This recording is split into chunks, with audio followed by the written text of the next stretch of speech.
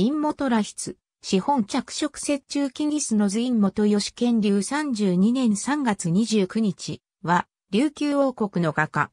琉球画壇の代表的絵師の一人。和名は、ザマミツネマサ。字は定期。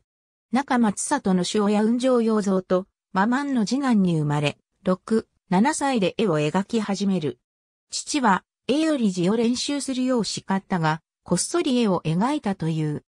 7、8歳で天才少年として評判になり、12歳の時より宮廷で育てられて山口周期に絵を学ぶ。三士官、西洋により定期の字を、また、小慶王より印を賜る。1752年、新興史の大筆者として清に渡り、帰国後に小慶王のお後絵を描いた。花鳥画や山水図に優れた。後ざまみ紛り掃除等となり、50歳で没した。作品に山水図、うずら図、上猫図、雪中木ギスの図などがある。以下の作品は沖縄県の有形文化財に指定されている。